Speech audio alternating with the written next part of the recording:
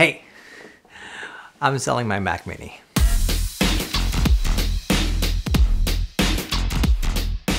The idea of the M1 Mac Mini was a beautiful idea and still is, taking the power of the M1 chip, the first ever Apple Silicon chip, and putting that into a Mac Mini and having it perform the way that it did. Being able to edit 4K video on Final Cut Pro, being able to work on huge Logic Pro projects, and being able to really use the Adobe Suite on the M1 Mac Mini was just something that I don't think any of us ever thought that we could do on a machine like the Mac Mini. The Mac Mini for a while had turned into a machine that was just used for servers or for very, very basic computing. Something that you just kind of had in the background and it just kind of did its thing, but was never your primary machine. So then for me, it was a huge test to see if I could make the Mac Mini, the M1 Mac Mini, my permanent main desktop computer after I had the 2014 5K Retina iMac, the 27 inch. I was on that computer for a very, very long time. And then when I saw the promise of the M1 chips,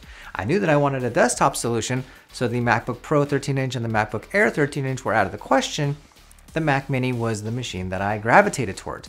And for the price that I paid for it, it was easily the least expensive Mac computer purchase, laptop, or desktop that I had ever made. And the idea that that amount of money could last me possibly six, seven, eight, nine, ten years was something that I was very intrigued by. But I'm making this video because I've come to the conclusion that the M1 Mac Mini, as much as I love it, and as much as I adore the machine and how solid it has been, is just not powerful enough for what I wanted to do.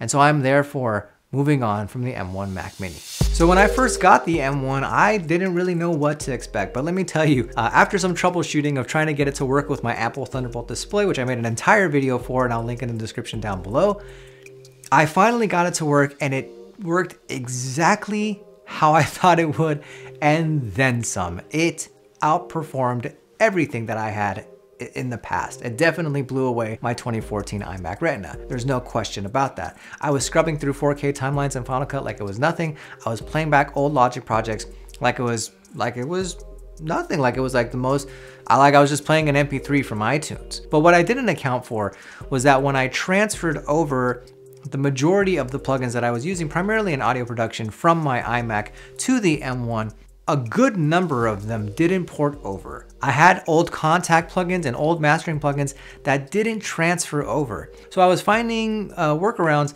uh, to supplement them until I finally got around to purchasing Kontakt again. So when I made my initial video praising the M1 Mac Mini, particularly in the audio production department, I failed to note that I had not still tried out the old plugins that I did before. I finally got around to purchasing Kontakt. I finally got around to downloading all my old sounds and some additional ones, and then using Logic the way that I used to with the 5K Retina iMac.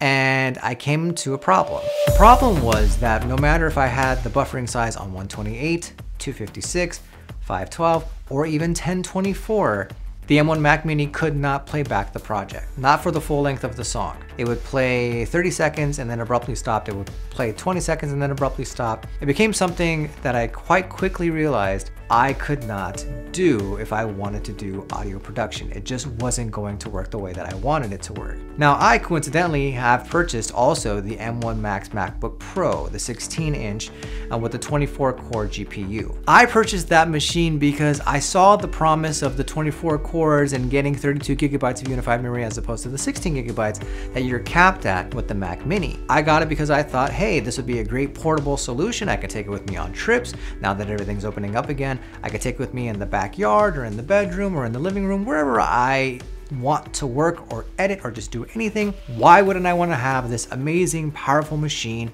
with me that can do all these things, which by the way, the fan has never turned on once and the battery life is absolutely amazing. Why not? So the idea was that the M1 Mac Mini was going to be my permanent desktop computer and then I would have the M1 Max MacBook Pro as my portable solution. I could airdrop files back and forth and then I could basically use iCloud for smaller files to transfer back and forth or just, you know, figure out a way where I could have the best of both worlds. But once the M1 Mac Mini became my permanent desktop solution for audio and I got back into it, that's where I started noticing the limitations of the M1 Mac Mini. I purchased Kontakt and the, the associated plugins with it, and quickly I realized that the M1 Mac Mini was not going to hack it. So I took the identical project from the M1 Mac Mini and put it on the M1 Max MacBook Pro, made sure that I had the identical plugins and everything was ready to go, and it worked beautifully.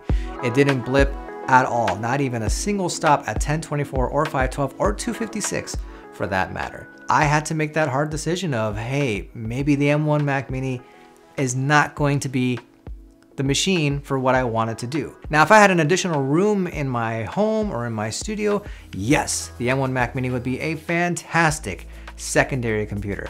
It would be amazing to have as a second edit bay or just a great computer for word processing or internet browsing or anything like that if we had the space in the house. Unfortunately, we don't have the space and what you see is my work area. I only have the one station and I'm only one person, so I don't necessarily need two computers. And to be frank, I haven't had a laptop as my permanent, you know, main computer for a very, very long time, for over a decade. I've had the 2010 iMac 27 inch, I had the 2014 iMac Retina 5K, and now I've had the Mac Mini. But I cannot emphasize enough how much I think the M1 Mac Mini is a fantastic fantastic computer. For 99% of the population out there, if you want a sleek and powerful desktop computer that has all the ports that you could possibly need from USB-A to USB-C, HDMI, audio jack, etc., then the M1 Mac Mini I think is the way to go. If you already have a monitor, if you already have a keyboard and a mouse, then a $600 or $700 investment is not a lot considering that you get into the Apple ecosystem and that you get all the benefits of it at that price point. You know, I'm really curious what they're going to be doing with the Mac Mini in the future, like if they're going to be updating it with the supposed uh, rumored M2 chip, and if they're going to uh, increase the limitation of the unified memory maybe to uh, you know 32 gigabytes of unified memory or maybe even like let's say 24 but would that cannibalize the market for the mac studio? If anything this experiment has taught me that you can do a lot with Apple's lowest priced computing system. You can do a lot with the Mac Mini. You can do a lot with the regular iPad. Not even the iPad Pro or the iPad Air or the iPad Mini, like with the regular iPad. You can do a lot with the iPhone SE. I know we really fixate on the latest and greatest that Apple has to offer, whether it's the Mac Studio, whether it's a Mac Pro, whether it's an iMac Pro back in the day um, whether it's you know the, the new M1 Max's MacBook Pros that you know that I have that I bought into the hype of that because I thought this is going to be something that I will use on an everyday basis and so far that has been the case.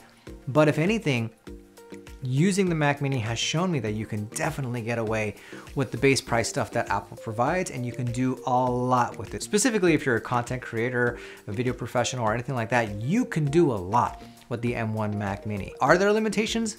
Absolutely. Yes, there are. I think every computer is going to have limitations. It depends on what you pay for, right? And if you're buying an M1 Ultra starting at $4,000, obviously you'll be able to do more than buying an M1 Mac Mini with just the M1 chip.